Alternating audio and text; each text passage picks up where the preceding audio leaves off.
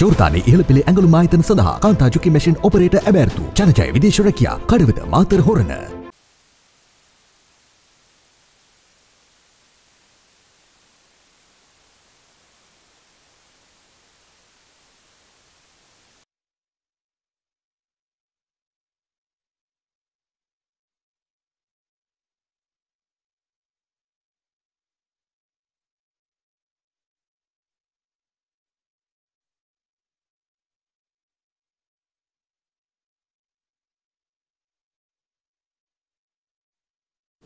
මම සෙෂානි සහෂ්නා ජයවර්ධන දෙදස් විසිතුවන අපස සාමාන්‍ය පෙළ විභාගේ දිවයිනේ හතර වෙන ස්ථානය ලබා ගත්තා.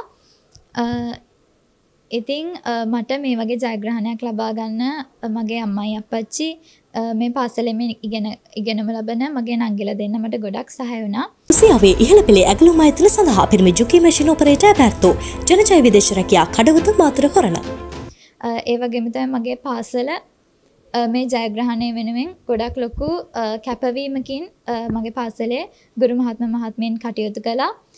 සාමාන්‍ය පෙළ විභාගය ආසන්න වෙද්දී ඒ අවසාන මාස තුනේ ලකුණු අනුව වෙන වෙනම අපිව වෙන් කළා. ඒ ඒ අයට අනුව ප්‍රශ්න පත්‍ර සාකච්ඡා කරා.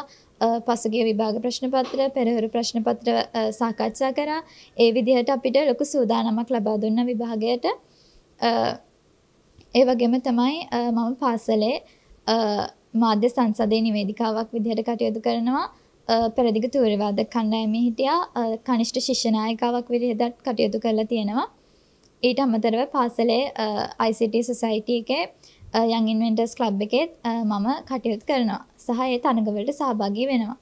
ඉතින් ඉදිරි වසරවලදී සාමාන්‍ය පෙළ විභාගයට මුහුණ දෙන්න ඉන්න නංගිල මල්ලිලට කියන්න තියෙන්නේ ඔයාලත් අනිවාර්යෙන් තමන්ගේ අරමුණ හිතේ තියාගෙන අධ්‍යාපන කටයුතු වගේම විෂය බාහිර විෂය සමගාමී කටයුතු බැලන්ස් කරගන්න ගමන් අනිවාර්යෙන් තමන්ගේ අරමුණට යන්න මහන්සි වෙලා කැපවීමෙන් වැඩ කරන්න. මම දැනට ජීව විද්‍යාංශයෙන් අපස උසස් පෙළ හදාරමින් ඉන්නවා. අනාගතයේ වෛද්‍යවරියක් වෙන්න බලාපොරොත්තු වෙනවා.